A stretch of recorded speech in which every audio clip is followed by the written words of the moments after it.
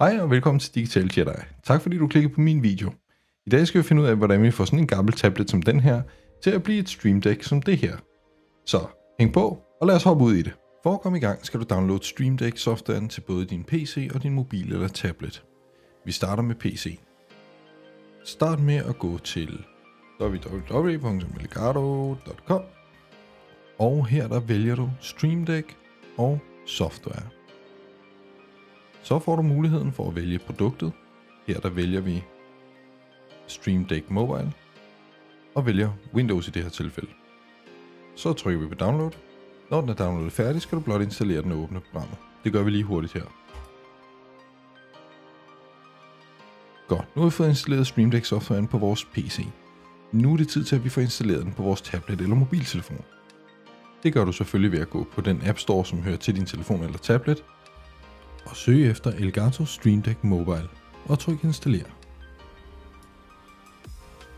De første 30 dage er gratis, og herefter koster det 23 kroner per måned, eller omkring 200 kroner per år.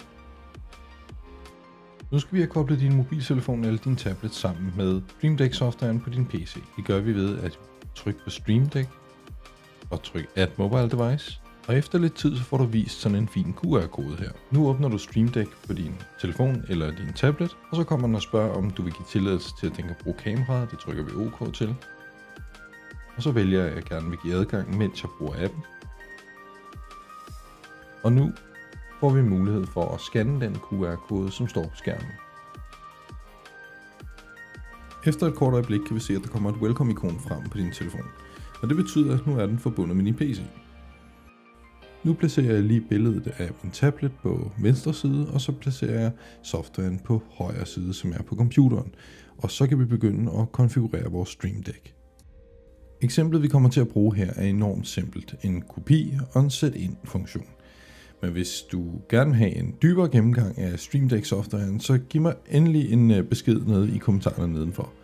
Og også meget gerne et lille hint til, hvad vi skal fokusere på. Lad os sige, at vi gerne vil have en genvej, som kan kopiere, og en genvej, som kan sætte ind på vores Stream Deck. Så skal vi tilføje to hotkeys.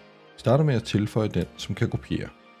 Vi kalder den for kopi, og så trykker vi Ctrl C. Så laver vi en ny hotkey, som vi kalder sæt ind. Og så trykker vi Ctrl V. Når jeg markerer en tekst et sted, og gerne vil kopiere den, så kan jeg trykke på kopi på mit Stream Deck, og så kan jeg trykke på sæt ind. Nu prøver jeg bare at sætte den ind her i titlen på den næste. Og så kan vi se, at den sætter ind. Hvis der ikke er nok plads til alle de kommandoer, som du gerne vil have på et Stream Deck, eller på en side, så kan du tilføje flere sider ved at trykke på plusknappen her. De sider kan du skifte imellem ved frem og tilbage knappen på dit Stream Deck, men også her i softwaren. Det kan være særlig nyttigt, hvis du har flere programmer, hvor du har forskellige genveje, så kan du vælge at have en side per program, du har åbent.